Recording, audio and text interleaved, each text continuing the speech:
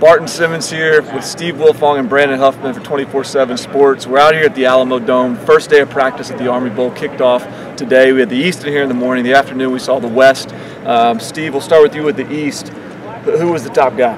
Well, leaving the practice field after that East practice, Tyreke Johnson, Ohio State commit out of Florida, asked, Where's his fifth star? He certainly showed that he deserves one in that first practice. Took reps at corner and safety, was dominant in one on ones in the team portion. He was a thumper, very physical, uh, made a lot of plays in coverage. Also, want to add that the Clemson commits, man, they were as advertised.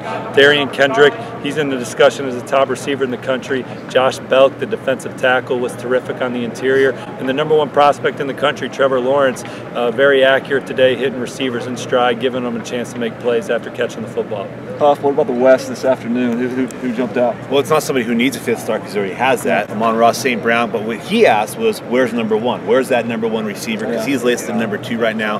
Today, this is a guy whose season just ended about 12, 13 days ago.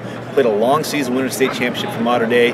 Came out here today, working with three different quarterbacks, but his teammate JT Daniels, who reclassified, is in this game. You could see that chemistry between those two. Amon-Ra just really separated himself as the course of practice went on. Uh, but JT Daniels, here's a guy that two weeks ago was still finishing his junior year. Now he's reclassified, playing in this game. He probably looked the best of the three quarterbacks today, all Southern Californians with Ken McKee and Matt Corral. I thought JT Daniels was probably the most consistent. So no surprise that Gatorade Player of the Year, the National Player of the Year, uh, two guys that helped lead a team to a national championship were the two stars today. But Amon-Ra, to me, was the best player for the West. Yeah, and I tell you, at quarterback, you mentioned I mean JT Daniels and you mentioned Trevor Lawrence. Those guys really were different than everybody else we saw here today, and it was all good play from the quarterbacks. But those guys were really unique. I think JT Daniels is going to be a lock to get a fifth star for us. Uh, it's just about how high is he going to go. He could be right up there next to Justin Fields and Trevor Lawrence by the end of this week if he continues to play like this. Part of Miami commit Jarren Williams went throw for throw with Trevor Lawrence. Who was taking there?